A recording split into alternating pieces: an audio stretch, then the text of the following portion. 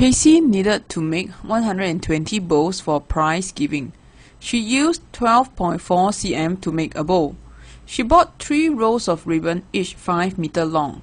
Find the length of ribbon she had left. So the first sentence says that Casey need to make 120 bows for prize giving. She used 12.4 cm to make a bow. So for every bow, she needs 12.4 cm. Okay, so since one bowl is 12.4 cm, therefore 120 bowls, I will need a total of 120 times 12.4 cm. And that will give us 1488 cm. She bought three rolls of ribbon, three rolls of ribbon and each is 5 meter long.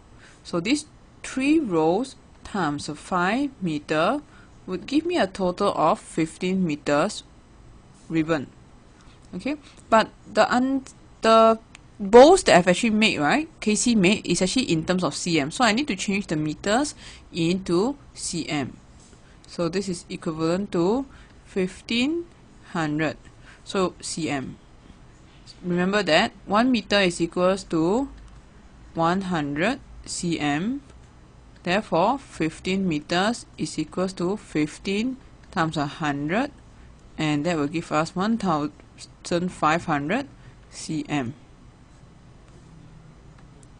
So the question is asking find the length of ribbon she had left. So in order to find left,